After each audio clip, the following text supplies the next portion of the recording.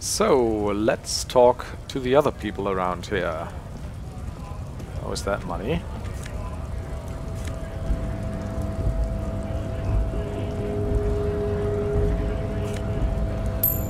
Thirty cents.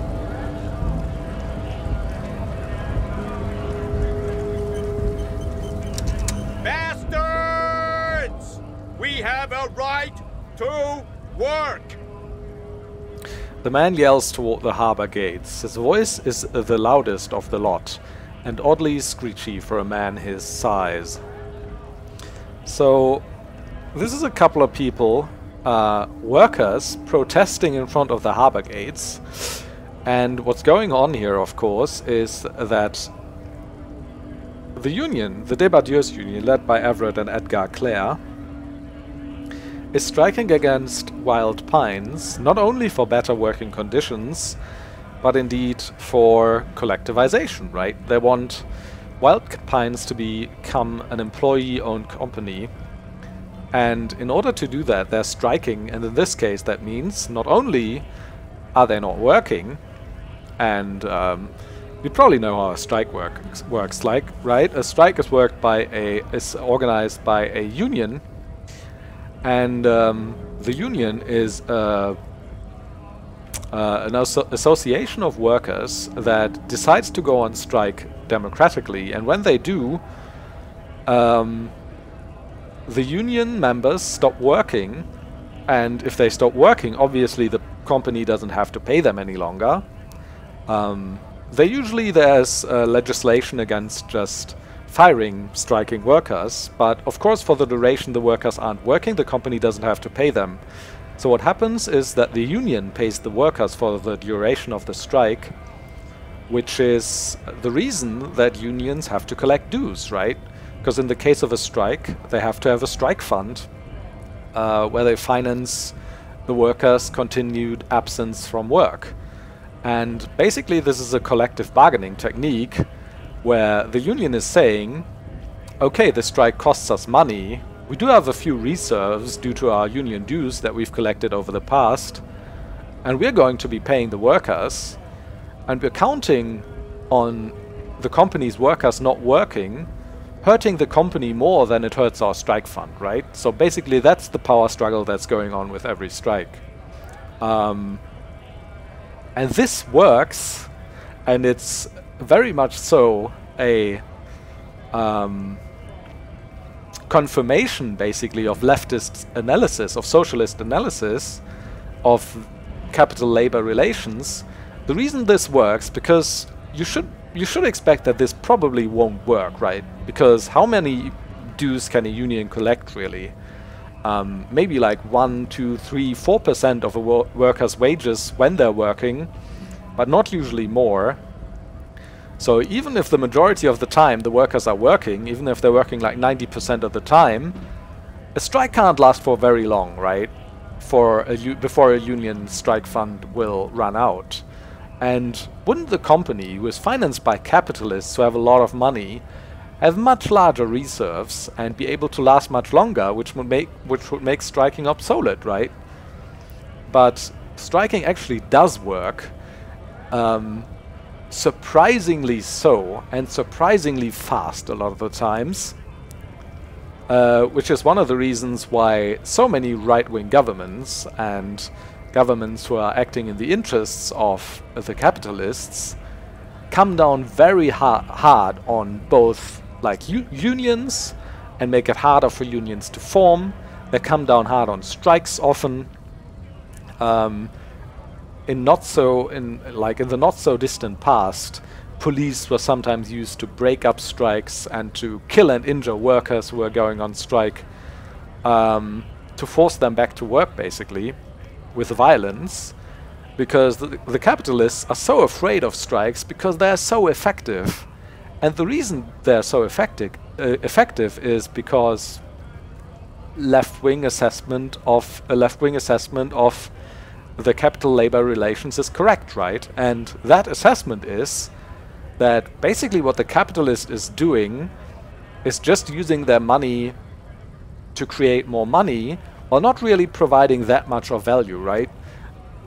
what's creating the value in the end, in a society, in an, in an economy, and in a company, is the workers. Most of it. 99% of it. I don't know, I don't want to quantify it, but the lion's share of why corporations can be profitable is not, you know, innovation or um, the ability uh, to come up with a lot of like starting capital. Um, it's not the, as conservatives call them, job creators that actually contribute so much to the functioning of a company. It's the workers and their labor. And uh, obviously, what a sociali socialist analysis is saying is that the labor of workers is exploited um, because they're being pay paid, their wages are far lower than uh, they should be getting uh, when looking at the wealth they're creating, right? They're cr every worker creates so much more wealth than they are paid. Uh, um, that the only way to describe this is really exploitation. And the only reason the capitalists can get away with it is because the workers are dependent on their wages, right? The workers, if they lose their work, if they're really fired, especially in a in a system where the safety net isn't very strong, where you maybe lose your health insurance, like in the US currently, or where generally the safety net isn't very good, you have a very bad bargaining position as a worker. You can't say I want more I want more uh, money for my labor, um, because the capitalist can just say, okay, I'm going to fire you, I'm going to hire someone else, and then you're just going to have no health insurance, or you're going to die from hunger, or whatever. So you're going to end up working for a lot less than what you actually do. And unions are a way of counterbalancing this, right? Of giving the workers an option to say, okay, we have this strike fund, we can um, stop working for a little while and uh, threaten to not go back to work unless you pay us more or conditions improve and improve in other ways. And again, this was quite the big, um, quite the long way of introducing uh, uh this concept now, but um, that's basically the reason why strikes work so well, right? Is because the difference between what a worker is paid and the wealth they're producing for the company, is so high that you know the company can uh, the the union can pay the workers their wages for a couple of months uh, or even just part of their wages um, while the company is losing a lot more money because all the work that uh, the workers are not doing is not just worth what the company is usually paying them, it's worth a lot more. And that explains the discrepancy, right? Even though the company, the capitalists, have a lot more money than a union ever will, they're losing more money through a strike too than the workers are. Because in a normal situation, the workers are so underpaid. And I find this so fascinating because it's like a real world um, uh, it's a real world um, basically it's the real world agreeing with leftist analysis. Strikes wouldn't work so well if that wasn't the case. Strike strikes wouldn't work so well if employers wouldn't lose massive amounts of monies by workers not working. Much more than they're paying them. Uh, so yeah. Uh, right. So what's happened uh, I'm still at the analysis level of this of this situation. So the union's striking, and it's not only uh, telling its members not to work, but it's actually barricaded the harbor here too. They've closed the gate, as you can see. No, no one can get in. Um, all the lorries, which are basically um, coaches, right? Trucks. All the trucks that are in this traffic jam, they're standing there because they can't get into the harbor um, not only because the union members aren't working, but because they've actively blocked the gate. So they've not only stopped working, they've al they're also keeping other workers from being able to do their work, which is a strategy, right? It's a stri strike strategy uh, to increase the union's leverage, because if it's not only the union members that are not working, but also other workers who wouldn't be part of the union or, or who aren't even part of the company, then the strike becomes even more threatening to this company and to other companies.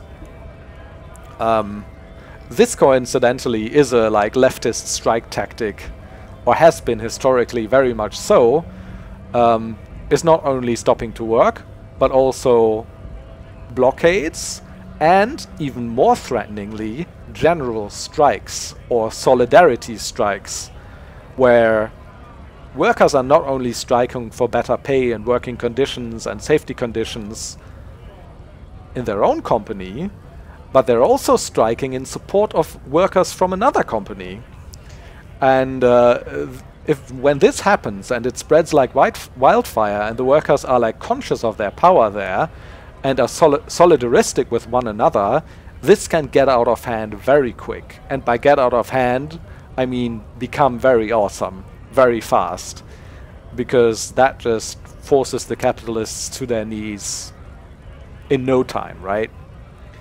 Um, and that's also because one of the reasons why capitalists and governments who act in their interests, or right-wing right-wing governments, they're very much so opposed to unions and striking, but what they're even more opposed to is solid solidaristic or general strikes.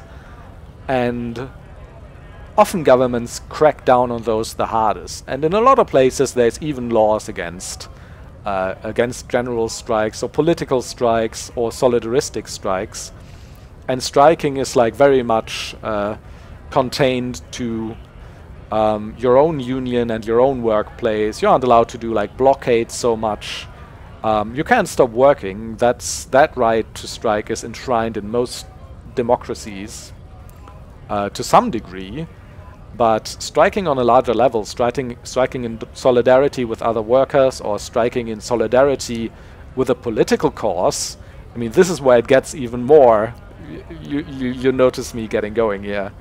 Uh, that, but this is where it gets even more exciting. If workers not only start to uh, strike for their own interests, um, not only start to strike for other workers' interests in solidarity, but start to strike for more general political causes, um, then this tool becomes immensely powerful.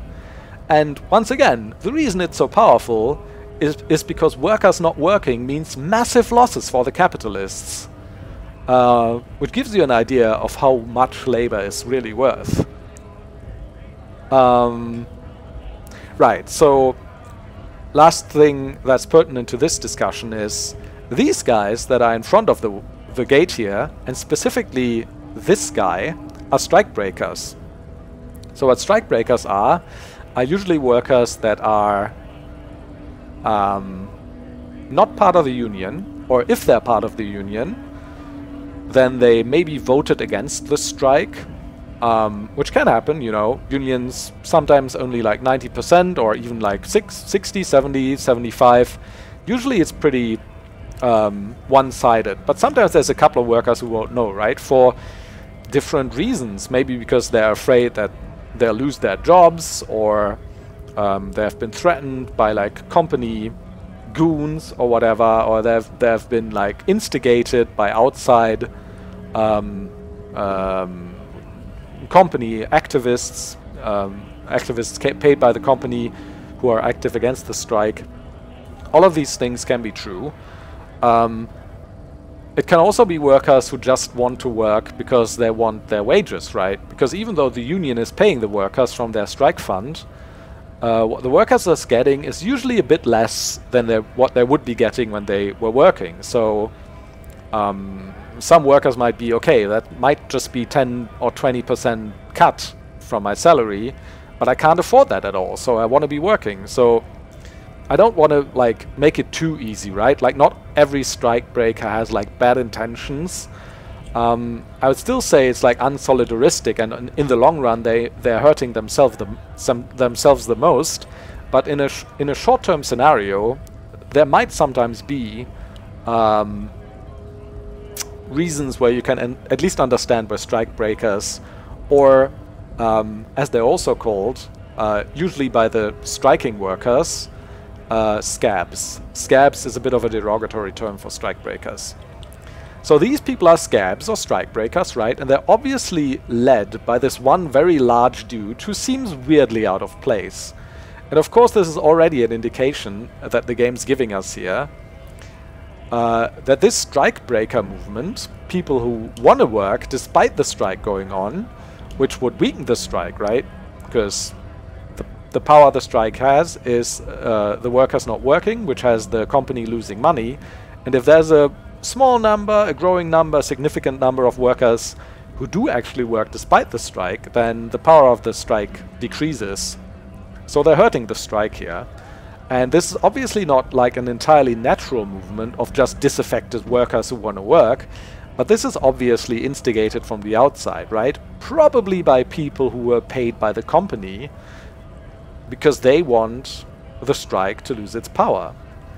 And this seems like very much like a suspicious guy who says like right and right to work is like a conservative buzzword in the US as well, right? There's right to work legislation, which makes forming unions or striking harder usually, and there's like a right to work ethic, which is basically strikebreaker saying, no, I, I don't want to strike. I want to keep licking the boot of my company to just become a little bit uh, polemic here.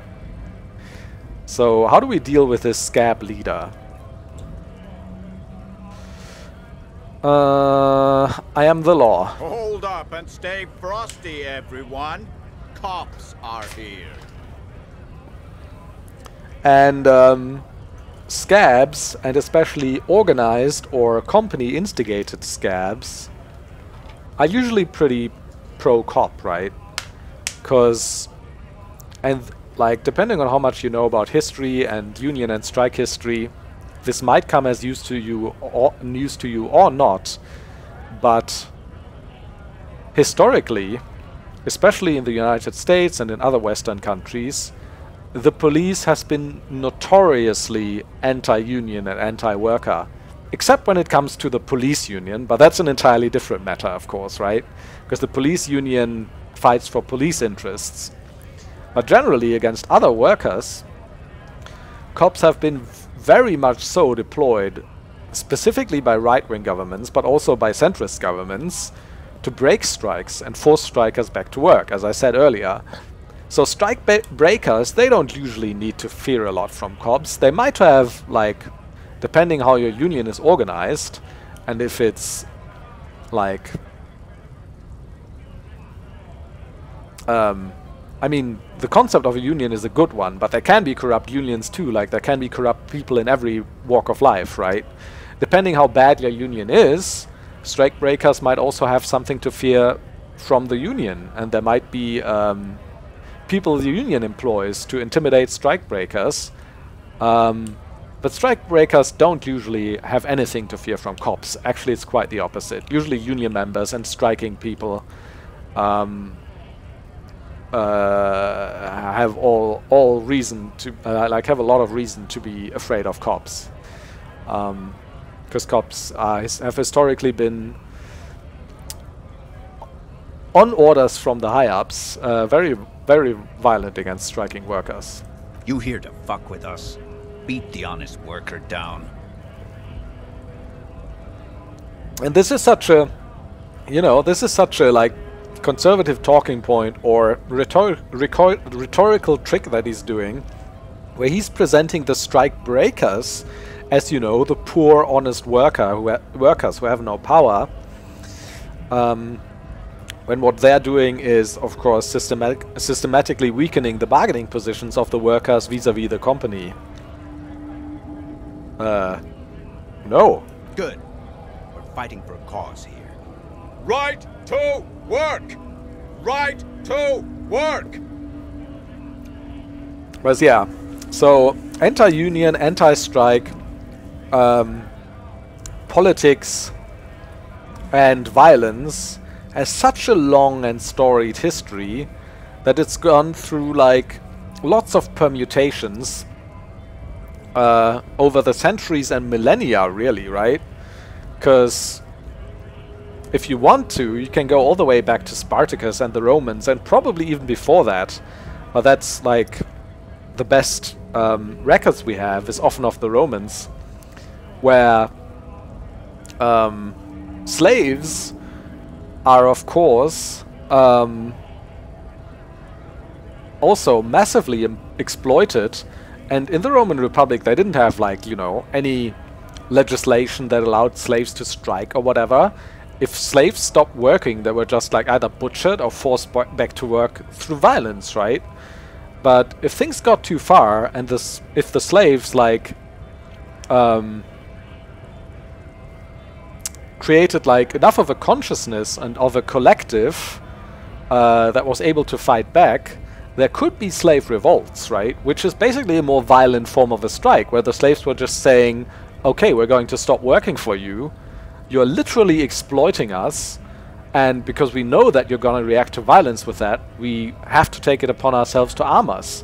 And that's exact uh, arm ourselves. And that's exact exactly what hap happened with uh, Spartacus, which is the most prominent one, but with all slave revolts, really.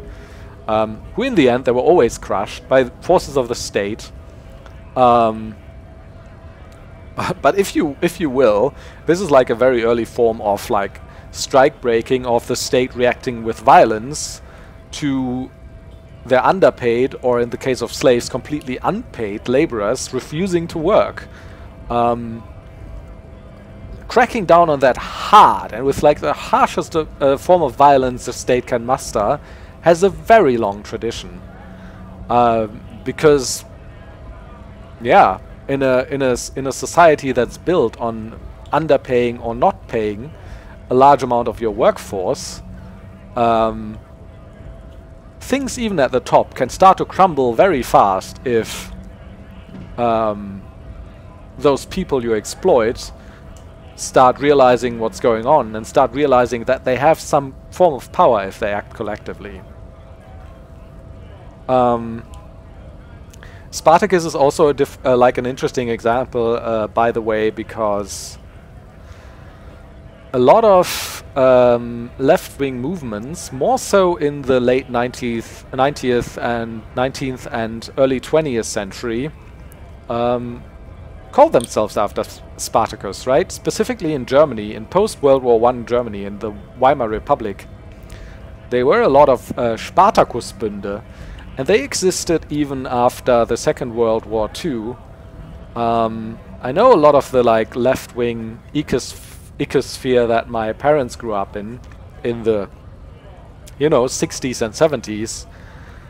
Uh, there were some Spartakisten as well, which means like Spartakists, who very much like uh, carried forward this idea of um, yeah, even the most uh, exploited and underpaid in society have a lot of power if they band together. And refusing to work is one of their like sh sharpest weapons, one of the sharpest uh, weapons in their arsenal.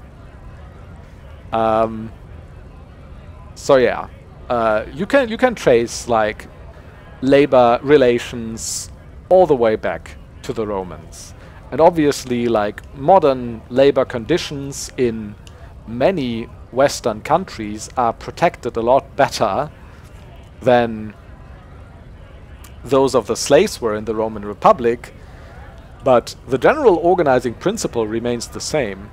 And even today, like a lot of labor that is done, and maybe to a lesser degree in industrialized nations, even though we underestimate that too, but certainly to a big degree in the global south, a lot of those labor relations are like either outright slavery, actually slavery still exists today in staggering numbers, or they're approaching slavery to a degree where people can barely afford even their own room and board from the low wages they're getting, right?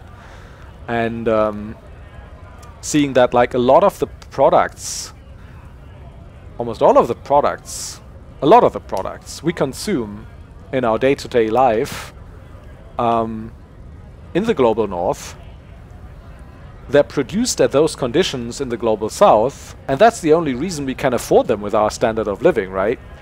Which I wouldn't say makes us responsible, but again, the leftist critique is always a systematic critique, and I like I can't help but criticize a system where the only way that my standard of living is even possible is because workers in other parts of the world are treated like shit. That's like, it's not like I'm responsible for that, um, or I should just stop living my life or whatever, but it means that I can, or I, I have to, like, really radically um, question the system we're living under and ask myself, like, is there another way um, of treating workers everywhere better? And um, obviously, as long as there's a lot of money to be made with the system the way it is, there's going to be very much, like, there's going to be a lot of resistance to things changing significantly. So, you know, like going back to the slaves uh, when it comes to the origins of modern labor relations is not as far-fetched as you as you as you might think. I mean, even in Europe, the way like a lot of our food is produced, even a lot of our vegetables are picked with you know undocumented labor and lots of labor safety violations in in Spain, and they employ like undocumented um, undocumented immigrants and treat them like very badly. They have to work without protective gear. Um, they're exposed to all the pesticides. They have to work in the sun for way too long uh, at very grave hazards to their health, right? And that's the only reason that fruit and vegetables are as affordable as they are, oftentimes, in countries like mine, like Germany. And the same is true for the US and um, and uh, agriculture there. So it's still very much so a screwed up system. And a left-wing perspective is always internationalist, you know, it's always humanist. It wants to abolish classes and states, and it looks at people everywhere in the world and it says, yeah, workers everywhere are treated like shit. And there are some places where they're treated even worse.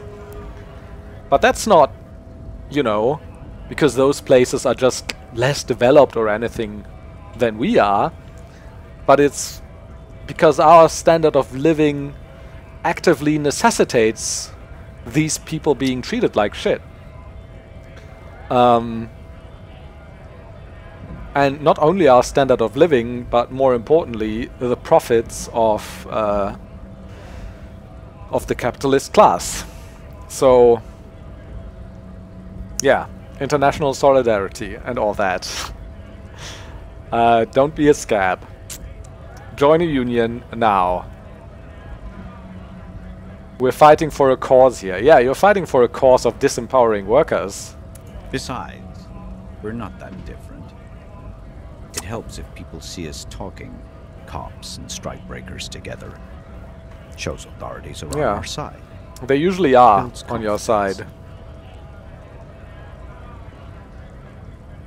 What kind of cause are we talking about? Rights of people. Rights of workers. Rights of workers. Gainful hmm. employment. To make a salary. And feed their families. This reminds me of a, reminds me of a slogan by the Conservative Party, the CDU in Germany here, which I'm not sure which election campaign it was. I think it was either in the 2000s or in the 90s, where the Conservative Party had the slogan, uh, or one of the slogans was Sozialist, was Arbeit schafft. And uh, uh, uh to, to, just translate very quickly, in English this means um, the most social thing you can do is create jobs. and uh, that obviously mirrors conservatives. Uh, uh, I almost said propaganda. Conservatives' talking points in, in the United States too, right? they're saying like, yeah, job creators and everything.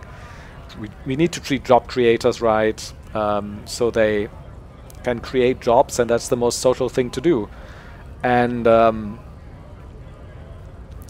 obviously, having a job doesn't mean shit if it doesn't pay enough for you to live. Um, you might as well be on unemployment then, a lot of the time. Or it's just like, you know, slightly better. So what's actually social is not just creating any job, um, but is create sustainable jobs that you can live on. Uh, But that's not such a pithy slogan, I suppose. Sozial ist, was Arbeit schafft. CDU slogan from the 90s or 2000s. Uh, I don't think I've chosen any sides yet. Might be time. Don't let the fat bastards tread on you.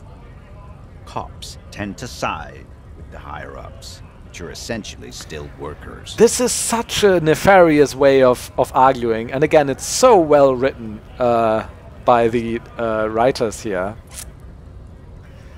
Um, cops tend to side with the higher ups, which is true, of course, but he's casting himself as not a higher up, right? Even though, as we're gonna find out later, he's literally a mercenary paid by the company. And uh, uh, not just a worker wants to work. But even if he were, like, you know, strikebreakers are not the underdog. strikebreakers are siding with the company against, even if there might, like, be short term reasons for them to do what they're doing, but essentially and in the long term what they're doing is siding with the company against their fellow workers.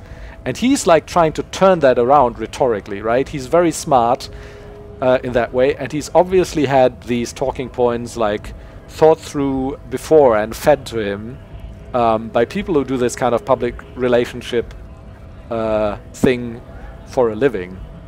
So cops tend to side with the higher-ups. Yeah, that's why I'm usually siding with strike strikebreakers. But we're essentially still workers. And that's, I mean, that's another bit of a nefarious argument. Um, that I feel was more prevalent on the left, or at least more prevalent, like, for me, a couple of years ago, before Black Lives Matter more spe specifically, where I was like, okay, so my maxim is like a structural critique, but I want to be empathetic with people, especially with working class people. And aren't cops like in danger a lot of the time? They're not well paid. They're also like selling their labor. Aren't they just workers too? Um, and I think the left in general, or maybe it was just me a couple of years ago, probably also because I'm white, were like, I was like a little bit in that direction. I was never, never like the biggest fan of the police as an institution, but individual cops I was more like, okay, cut, cut them some slack.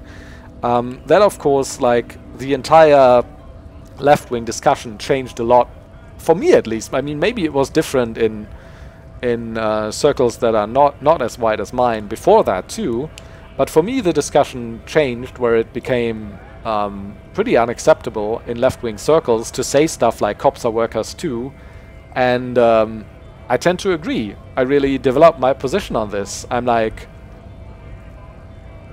yeah, in this like very, you know, um, simplified vision version of like class analysis where there's, you know, capitalists and workers, which is still true and valid um, for the most part nowadays, I, th I think, but which has also been extrapolated upon.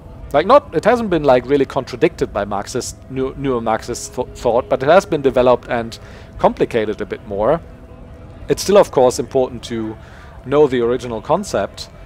Um, but while but while that still holds true, that general analysis, there's also some nuance to it. And one is, for example, that cops, while in the technical sense workers, very much act as a, in reality, as a enforcement arm of the system we live under, right? That's not even like a radical idea. That's what, like, um, uh, the role of cops is um, the self-described role of cops. Even it's to enforce violence on on um, on um, enforce violence for the state, basically. And if you're like not critical of the system at all, you could you could say like it's a democracy, there needs to be a monopoly of violence or whatever. But if your analysis is that essentially we're living in a capitalist system where the lion's share of power, even though the system purports to be democratic, but really the lion's share of power, through lobbying and outright corruption of politicians and whatever, lies with uh, capitalists structurally, then the enforcing arm of that system obviously also generally enforces the interests of the capitalist class, right? More so than the working class. And um, this is very, very true historically. Um, as I said, when it came to strikes, um, especially in, the in the US, in the night, and the, and, and the UK and other parts of Europe in the 1930s, um, cops were like 20s, 1910s, 20s, 30s were notoriously violent against strikers, broke up strikes all the time. You know, like Ford. Um, uh, there was like several big unions and strikes in in Ford's factories, and they were like very brutally put put down. But even nowadays, like you like it happens quickly that you're decried like as a populist or whatever when you say this. But look at like law enforcement nowadays. How often do you really see people at the, if you want, like top of the food chain go to jail for crimes? It happens way less commonly. If you look at like the US is always an extreme example. But I mean, okay, there's Bernie Madoff, and there's like one or two figures in like finance who've gone to jail over the last like 20, 30 years. Um, but generally, the US prison population uh, is basically entirely made up of working class people. And that's not because working class people just commit more crimes, but they commit, firstly, they commit different crimes, which aren't worse. A lot of the times, the crimes that are committed in the financial world have much larger effects, like on a grand scale, right? Um, but they commit different crimes and they're treated differently, both by the police and by the carceral system. Um, there's a very strong tendency towards incarcerating working class people in the US, and even more so working class people from um, uh, uh, people of color, working class people of color, right? So um, the massive prison population that the US that the US ha has, and uh, it is massive. Every fourth, I couldn't believe this, I read this statistic the other day, but every fourth prisoner on planet Earth is in prison in the United States. Which is mind-blowing to me. Seeing that the US has like less than 5% of the world's population, but uh, over 20% of the world's prison population. And um, yeah, so and yeah, and that's what I wanted to say. And the prison population is um, almost exclusively working class. And as I said before, the working class is a lot bigger than the capitalist class, but even accounting for that, people from the capitalist, capitalist class rarely, if ever, go to prison. And um, that's not because they don't commit any crimes. They commit crimes like tax evasion, tax fraud, um, fraud in general all the time uh, at at least the same rate that working class people do but they very rarely go to prison for it where in the United States you can go to life uh, go to prison for life if you have if you live like in a state with a three strikes rule right and you smoke marijuana three times or whatever and you're like okay you're away for life and um, yeah, as I said, the US is always the, the, the, most extreme example, but it's a very clear example of how like both policing and the carceral system is not geared towards jailing capitalists. It's geared towards um, jailing working class people. So yeah, that's why um, like a lot of leftist uh, thought nowadays probably wouldn't say that, yeah, cops are just workers just like any other. Well, they are in a technical sense, but they're also the enforcement agency of capital. One of the enforcement agencies. I don't trust cops, but I can mm. see you understand the... Right to work! Right to work! Maybe you should ask them the questions. Like, why we're not allowed to make a living here. Shame on you! We have families to feed, you piece of shit. So do we, Scott. What is a strike? When a bunch of ungrateful, lazy cockroaches can't get their act together, decide to block honest work for other people. I mean, this is ob obviously also rhetoric, but it's not as good of a rhetorical device as his earlier ones were. Beats me. They mumble nonsense about boardrooms and workers' rights, while we have the right to work! When the man moves around, you perceive some serious abs underneath his tight-fitting shirt. Like, yeah, This man is in shape. Like he was trained to fight. How come you're built like a brick shithouse, but the other scabs, scabs are so scrawny? I work hard, and I would work even harder if the fuckers would Let us work! What exactly is your go goal here? We were promised work. We'd be in there, working, if the bastards hadn't shut the gates. He points to the gates. And you are unable to breach the entrance? Main gate's locked. Would take heavy ordnance to bust it open. Could try to get in through the secretary's office. Door's locked. The guards blocking the way to the access panel. And I don't mean the scrawny mess punk either. I mean head measurer. Wait, head measurer? Whatever he is.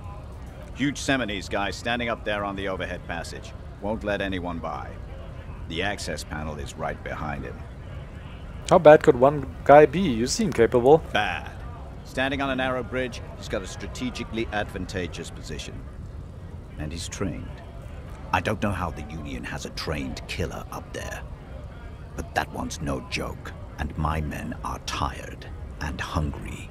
They're workers, not fighters. Have you considered storming in, like all of you? Why don't you go arrest them instead? Good idea. Sure, they've done plenty of criminal shit. They have that look. It would be better for the neighborhood if you went home. At least for now. If you can't get in anyway. No! They will give up eventually. Or get drunk. Leave the button unguarded. Then we charge. Oh, the button, right? Who are all these strike breakers? Honest men and women with rights to work, to be useful, not toys for corporate interests. He's turning it all around. You're the toys for corporate interests right now. How are the union members striking for better working conditions toys of corporate interests? They're striking against the company. He's rhetorically uh, quite adept, I must say. The man runs a hand through his steadily graying military haircut. Military haircut, you say? We came here to help the harbor run smoothly in time of crisis. If Union fucks don't want work, they ought to let in those who do want work. I have a question. Why do all these men follow your leadership? You think they follow because I'm big and loud? No. They follow the rules of the That market, giveaway. The rules of the economy, because they were. Given a job to do! like he's he's always shouting these uh, certain phrases like he's learned them and he wants them to really catch on, right? You've been talking to him for quite a while now. Something is off with this guy. Yeah. Ask him where he's from. What's it to you?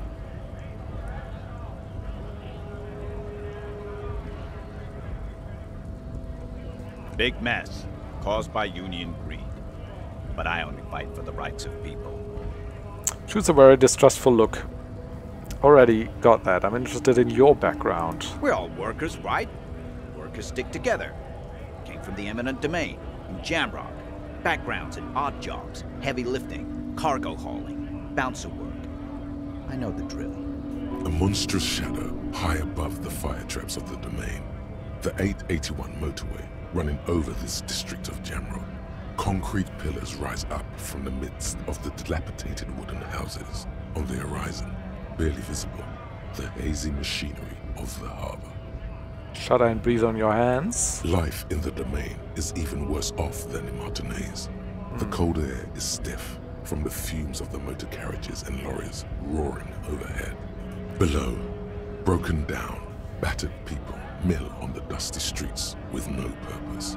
Yet amongst them, there is no sight of this man, No way. Bouncer where? I frequent a lot of bars. Maybe it's one I know. Quartet Territorial. Ring a bell? Never heard of it. Are you lying? We're done here. I have a strike to break. He squints at you, a little spark of violence gutters in his eyes, then he blinks and turns to his men. That's a shame, I feel like I messed up here somehow. Maybe I could have could have gotten more out of him. But enough for that talk, for now. And uh, that's actually a good point. It's a bit early, but it's a good point to take another break. Thanks everyone for watching my long talk about unions and workers' rights and international solidarity. I'll see you next time. Bye bye.